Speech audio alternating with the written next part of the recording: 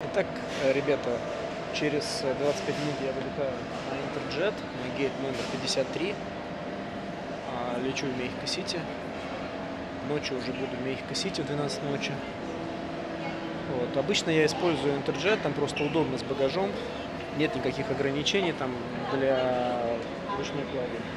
Вот. Если брать там, допустим, Вивары, то там есть ограничения. Ну, а если взять э, Air Mexico, цена чуть выше. Из-за этого Interjet самый такой оптимальный вариант.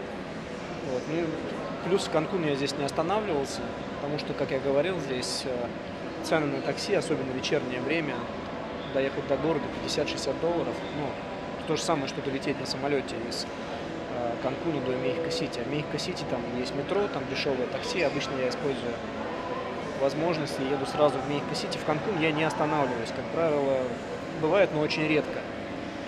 Вот, так что вылетаю через 15-20 минут, мой гейт номер 53, ну и буду снимать видео о том, где я живу в Мехико-Сити, где у меня останавливаются VIP-клиенты, а, какие районы в Мехико-Сити я выбираю, какие там есть парки, где можно поразвлекаться. Для... Ну, сейчас посмотрим состояние самолетов. Ну, вообще в Мексике здесь все очень новое.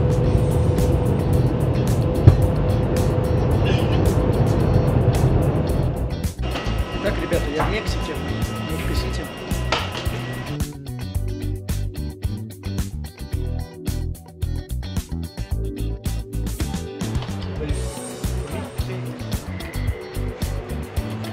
Такую бумажку.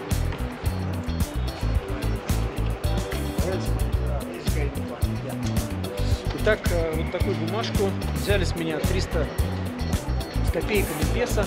Выходи, выхожу на улицу и здесь вот эту бумагу нужно будет передать.